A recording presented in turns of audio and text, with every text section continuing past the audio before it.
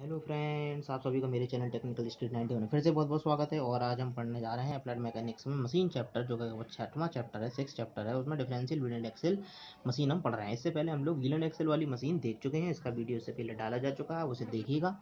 और ये जो मशीन होती है, ये हमारे उसी का संशोधित रूप होती है, यानी उसी का मॉडिफिकेशन होता है ये। तो क्या होता है कि इसमें हमें मैक्सिमम मैकेनिकल एडवांटेज हमें जब चाहिए होता है, तब हम डिफरेंशियल वर्ड यूज़ करते हैं डिफरेंशियल व्हील एंड एक्सेल का प्रयोग करते हैं। ठीक है, अब इससे पहले आपने वो वीडियो अगर नहीं देखा है तो आपको कम समझ में आएगा, इसलिए आप उससे पहले जाके ज़रूर देखें, ठीक है? ऊपर आई आइकन आ रहा है आप उसमें देख लीजिएगा। अब हम इसमें देख लेते हैं इसका कंस्ट्रक्शन कैसे कैसे है और ये कैसे काम करता है, ठीक है? देखिए, मैं चाहता तो डायग्राम पहले से ही बना के रख सकता था, लेकिन आपको टाइम इतना नहीं लगेगा, आप देखिएगा ध्यान से, फटाफट बनाएँगे हम डायग्राम तो इसमें एक बड़ा दोहरा आपका होता है और एक आपका बड़ा पहिया होता है। देखो नाम इसका व्यासांतरी पहिया तथा दूरी है तो पहिया तो लगा ही होगा कम से कम।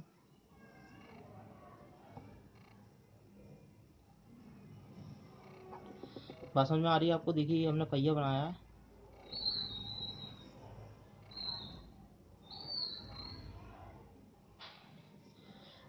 अब यहाँ आगे क्या है कि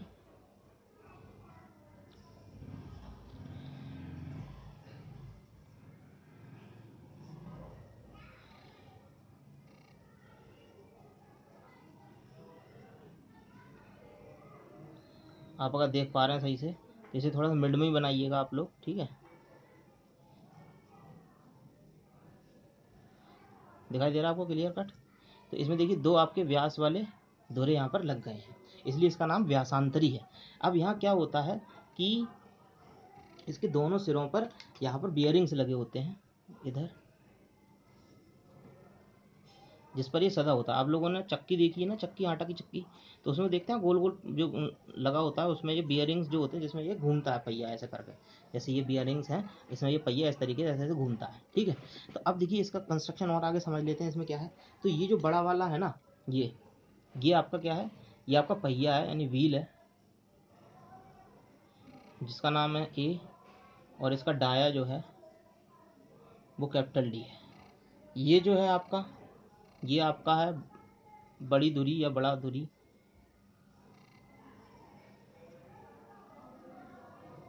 बी नाम है इसका, और इसका जो डाया है मेरे भाई, वो डी वन है। ये जो है आपको दिखाई दे रही है, ये आपकी छोटी धुरी है।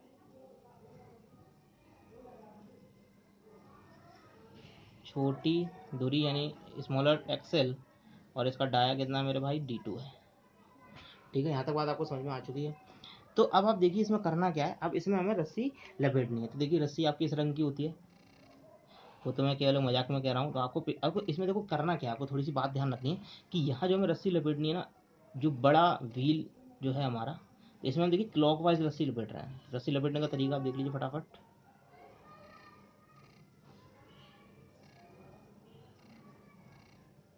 और ये ऊपर से नीचे की तरफ़ वापस हमारा आ गया। ये पीछे से आ रहा है, ठीक है? तो यहीं पर हमें क्या करना है? प्रयास भी लगा देना है। नीचे की तरफ़। नीचे की तरफ़ हमें प्रयास भी लगा देना है। दैट इज़ एफर्ट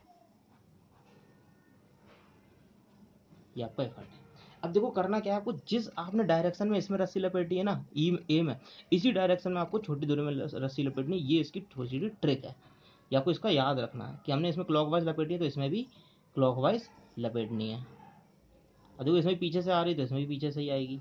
अब यहाँ क्या होता है कि बीच में एक हम यहाँ पर एक घिरनी लगा देते हैं, जो हमारी मूवेबल पुली होती है। और इसी मूवेबल पुली पर जो बाहर उठाना होता है ना, उसको डब्लू को यहीं लटका दिया जाता है और ये ऊपर की तरफ़ उठता है। अब ये जो रस्सी जो पीछे से आ रही थी, ये वाली, छोटे धोरे से, छोटे धोरे जो हमारा, छोटे धोरे का नाम भैया सी था, है ना? छोटे छोटे सी से जो रस्सी आ रही थी, ये रस्सी कहाँ गई है? ये रस्सी इधर गई है।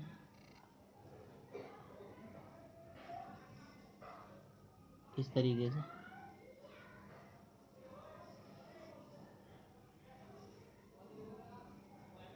यहाँ ये बंध गई है। दिखाई दे रही है आपको?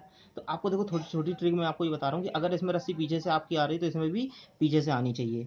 ठीक है? और इसमें आगे से आनी चाहिए। अगर इसमें रस्सी आपके सामने से आ रही है तो इसमें भी सामने से आनी चाहिए। यानी इन दोनों में जो राउंड है, वो सेम होने चाहिए। मतलब इसमें अगर क्लॉकवाइज है तो इस वाले में भी क्लॉकवाइज होगा। इस वाले में देखिए एंटी क्लॉकवाइज हो गया क्लियर हो रही है बात सारी? तो यहाँ तक आपको बात समझ में आ रही है। अब देखिए इसमें इसका कंस्ट्रक्शन इसमें पूरा मैंने लिख रखा है। इतना कोई टफ नहीं है। फटाफट देख लीजिए। यह मशीन धुरी पर संसदीय रूप है। इसमें एक पहिया कैपिटल ए बड़े व्यास का धुरा बी तथा छोटे व्यास की धुरी सी होती है। इसमें तीनों एक ही अच पर आपस में बद्ध होते हैं। आपने देखा तीनों लोग कहाँ लगे हुए हैं? एक ही एक्सेस पर लगे हुए हैं। सबसे पहले एक्सेस ही बनाई थी हमने। तीनों एक एक्सेस पर लगे होते हैं और एक साथ घूमते हैं।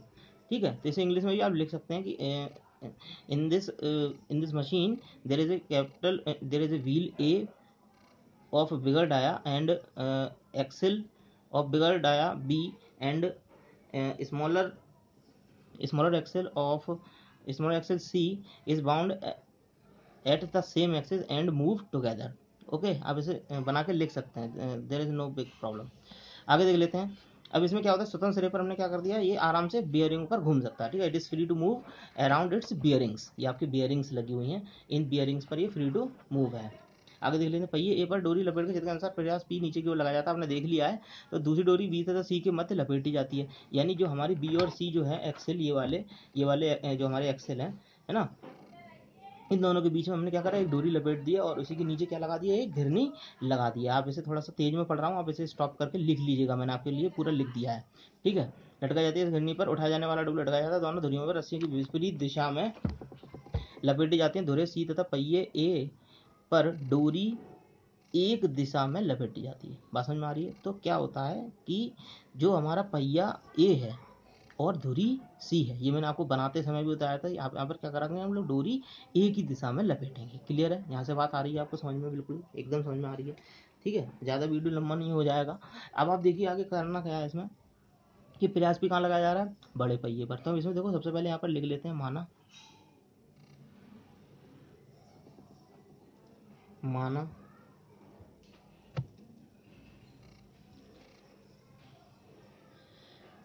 पहिए का व्यास। बराबर कैपिटल डी तो पहिए ए का, है ना? Let the dia of capital let the dia of wheel is capital D और बड़े धोरे का व्यास।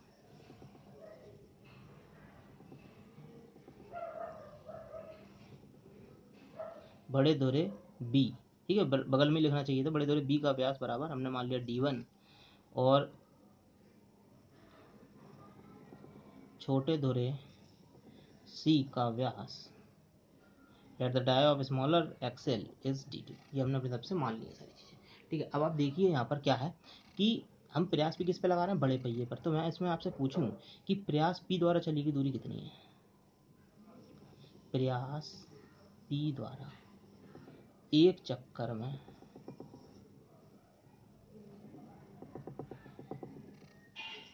चली गई दूरी।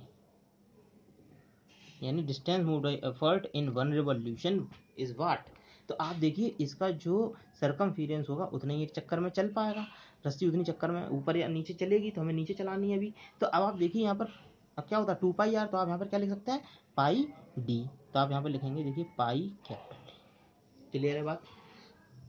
अब इसी तरीके से आप देखिए, बाहर डब्ल्यू जो है तो अब क्या होगा, जब ये हमारा एक्सेल घूमेगा, जब ये हमारा पूरा विलन एक्सेल सिस्टम घूमेगा तो क्या होगा कि यहाँ से, आपने देखे कि अपोजिट डायरेक्शन में है यहाँ पर तो अपोजिट डायरेक्शन में होने के कारण, जब ये व्हील नीचे की तरफ़ ये चलेगा और ये आपका क्लॉकवाइज डायरेक्शन में घूमेगा, है ना, इस तरीके से घूमेगा हाँ क्लॉकवाइज डायरेक्शन में घूमेगा तो क्या होगा? यहाँ से तो रस्सी खुलती चली जाएगी और यहाँ पर लपटती चली जाएगी। तो आप देखेंगे खुलने वाले की मात्रा आपकी ज़्यादा होगी और लपटने वाले की मात्रा थोड़ी सी कम होगी। तो इन दोनों के धुरियों के जो सरकमफीरियंस हैं, उनके अंतर का आधा हिस्सा ये ऊपर उठेगा। ये बात मैंने आपको पीछे वाले में बताई थी डिफरेंशियल वाले में आप ये थोड़ी सी जुगाड़ याद रखिए कि हमेशा जो आधा हिस्सा होता है ना, वो ऊपर उठता है। अब सर ये क्या हुआ? तो आप देखिए प्रयास सॉरी भार डब्लू द्वारा एक चक्कर में चली गई दूरी। क्या होगी? भाई द्वारा एक चक्कर में चली गई दूरी। बताइए फटाफट।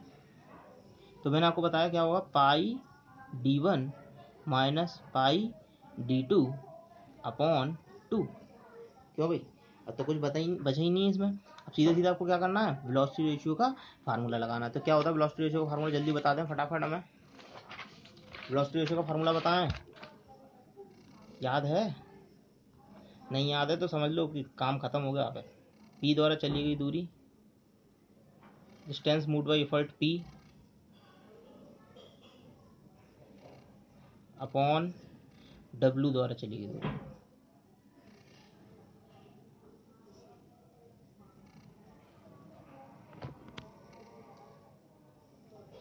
आई थिंक दिखाई दे रहा है आपको।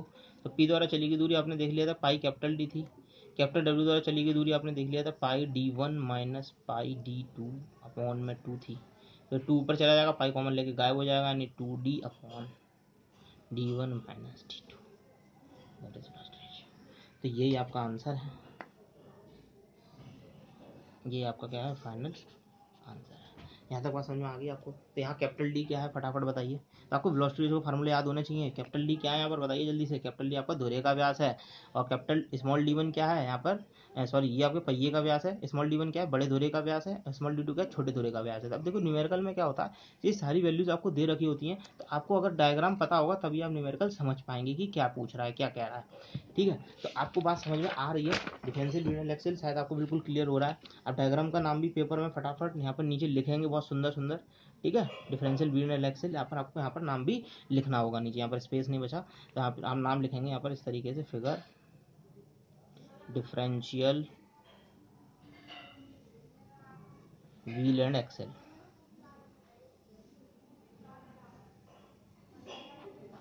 ठीक? तो ये चित्र आपके सामने आपको दिखाई दे रहा है, बिल्कुल सही। तो आप इसकी प्रैक्टिस कीजिए बनाने की, और ये पेपर में बहुत बार आ चुका है, बहुत इंपॉर्टेंट है, और पीछे के वीडियोस भी आप देखिए नोट्स बनाइए, सबसे बड़ी बात, और अच्छी तरीके से तैयारी करिए, और ये चैप्टर बस आपका एक दो दिन का और बचा है। मैक्सिमम दो दिन का बचा है ये चैप्टर और मैं इसे फिनिश करके फिर आपको फटाफट आगे दो या तीन दिन का मैक्सिमम तीन दिन का बचा होगा। फिर आगे आपको नया चैप्टर पढ़ाया जाएगा, और इस चैप्टर का निचोड़ आपको बताया जाएगा। बहुत बहुत धन्यवाद न्यूमेरिकल्स लगाइए और नोट्स भी बनाइए। जय हिंद, जय भारत।